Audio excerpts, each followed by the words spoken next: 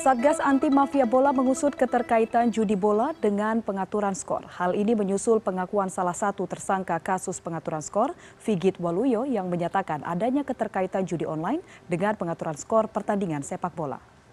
Hal itu disampaikan Wakil Ketua Satgas Anti Mafia Bola, Brigjen Pol Krisnamurti. Selain bandar judi bola dari dalam negeri, bandar dari luar negeri juga ikut terkait dalam mengatur skor dalam persepak bolaan tanah air.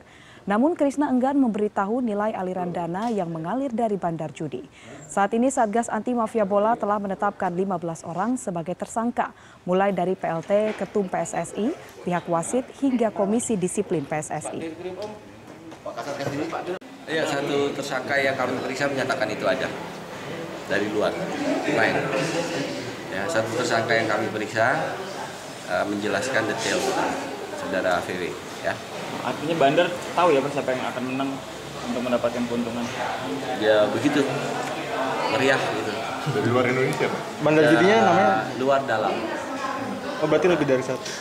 Eh, gini ya, di sepak bola itu toto itu biasa seluruh dunia ya.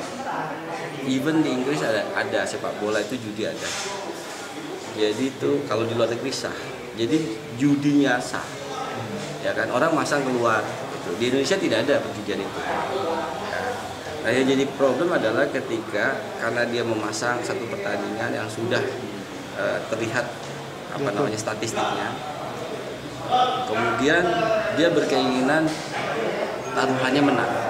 Nah itu dilakukan apa pun oleh pemain itu. Nah itu problemnya di situ. Ya, jadi di Inggris, di Amerika, di luar negeri, di Singapura, di Malaysia judi itu sah. Di Indonesia kan tidak ada judi. Nah orang memasangnya ke luar negeri, kemudian mereka bermain di dalam supaya yang dipasang